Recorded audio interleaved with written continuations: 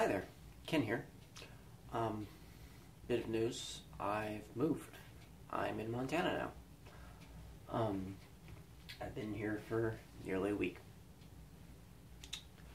Uh, I have a computer again, so you might get content at some point.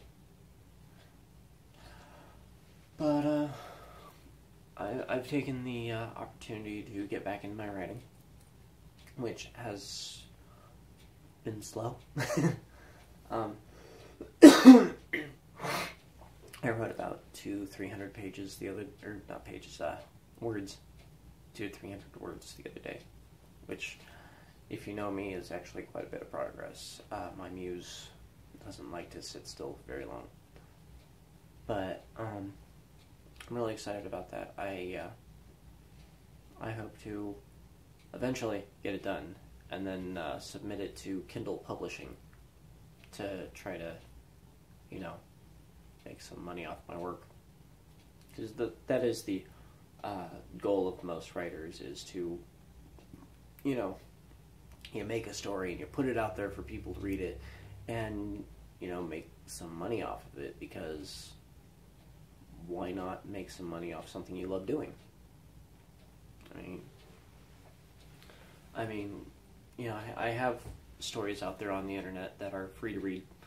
Um, I'll even post uh, links in the description for those of you who want to check it out. But it, it's nice to have that one big project that you're going to put out there and do something with. Um, let's see what else. Uh, let's plays aren't really gonna happen all that much. Sorry.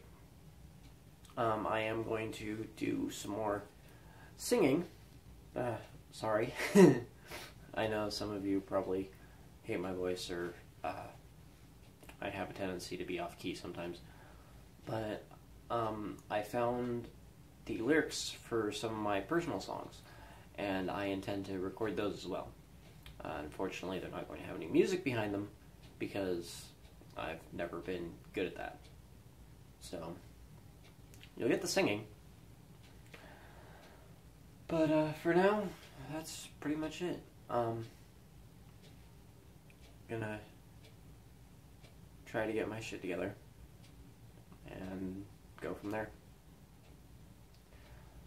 Anywho, uh, thank you for taking the time to watch this update, to listen to me ramble. I really do appreciate it. And, you know, if you want to, you can subscribe. If you don't, that's fine. Like, dislike, whatever. It's good enough that you're watching, personally.